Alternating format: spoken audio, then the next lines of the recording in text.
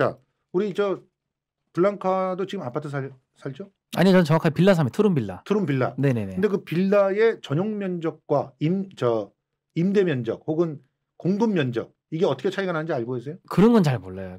근데 저희 집이 굉장히 좁아요. 네. 아 일단 몇 평형이야? 그게 자, 투룸 빌라라서 몇 평인지 모르겠는데 아 굉장히 좁아요. 전화해봐.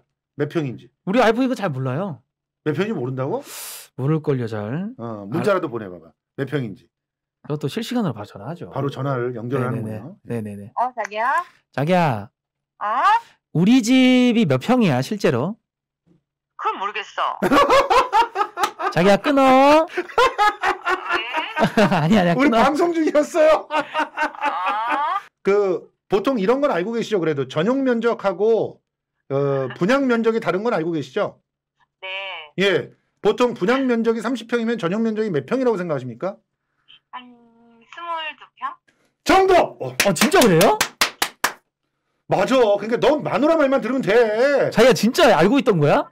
13평이면 공급 면적이로는 20평이에요.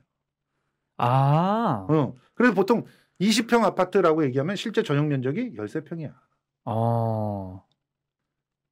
전용 면적으로 따지면 13평 넘기가 힘들어. 제가 알기로는 전용 면적 얼핏 기억이 그때 14평인가 3평인가 뭐 맞아요. 예. 거기에서 지금 살고 있는 거야. 이 임대주택에서. 네네. 그런데 그게 좁아서 사람들을 거기서 살라고 하는 건 모욕이라고. 이렇게 주장을 하는 게 그럼 우리 동네에 가구가 한 우리 우리 집 빌라 A동부터 2동까지 있는데 그러면 거기 애 키우고 사시는 분 되게 많은데 그 뭐- 뭡니까 그러면? 그러니까 뭡니까 이게 아, 제 걸로 형비 쓰시고 그러세요. 가끔 좀 사용해 보세요. 아, 그래서 그러네. 미디어 오늘이 하도 가짜 않으니까 이런 뉴스를 실었어요. 문 대통령 발언에 공공임대 갈등만 부추기는 연- 언론. 44제곱미터가 4인 가구 살기 적당한가를 논란거리를 만들었다.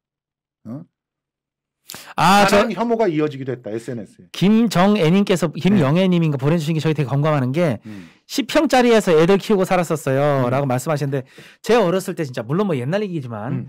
경남 창원에 혹시 여기 창원분 계실지 모르겠지만 반송 아파트 지금은 없어졌는데 음. 거기가 10평이었어요. 10평. 10평. 어. 거기에 제 친구 정치우라고 있었는데 거기 예. 하고 그 친구도 형제가 또 성- 성만이라고 형제가 3명인 사람이 있었는데 부모님하고 5명이서 음.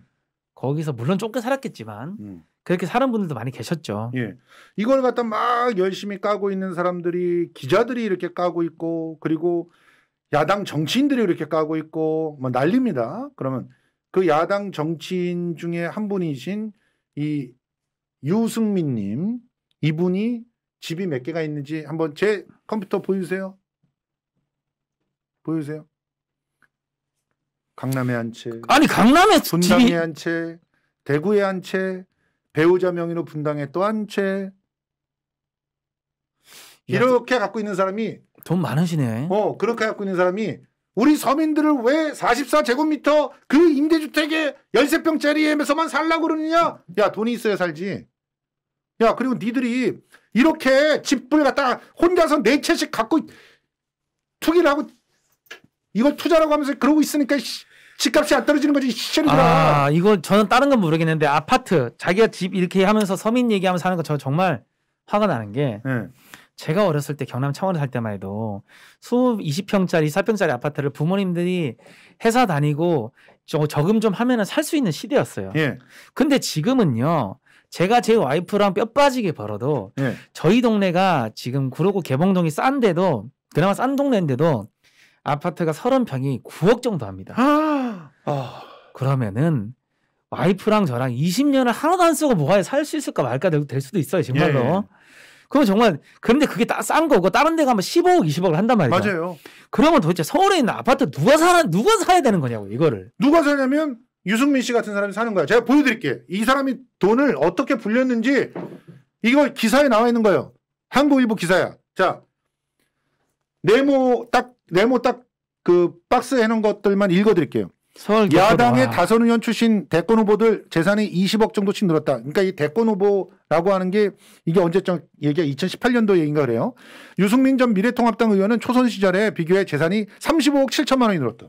17대 국회 첫 해인 2004년에 서울 개포동 경남 아파트와 예금이 유 의원 재산의 전부였어요. 근데 올해 51억 7천만 원을 이제 신고를 했는데 16년간 보유한 경남 아파트 가격이 13억 6천만 원. 근데 이 13억 6천만 원도 실거래가가 아니야. 공시지가야. 경기 성재 경기 성남시 소재 아파트 5억 2천, 대구 단독 주택 4억 원, 부동산 재산이 추가로 14억 1천만 원 증가했다.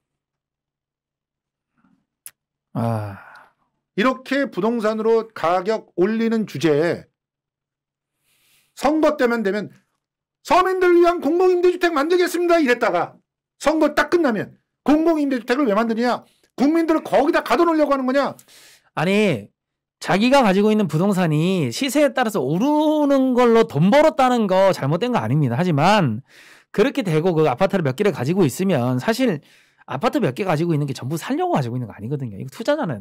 투기 투자 뭐 이렇게 표현할 수 있잖아요. 냉정하게. 이게 투기지만 네편네 채씩 이렇게 갖고 있을 예. 필요가 있어 자, 그러면 정치인이 말이야 그렇게- 대통령 선거에 나간다는 놈이 그렇게 돈을 벌었으면 최소한 서민이 이런 그런 코스오픈에는 저는 하지 말았으면 합니다. 딴걸 정말 떠나서 20대인 이, 이 사람 딸 재산이 얼마인 줄 아세요?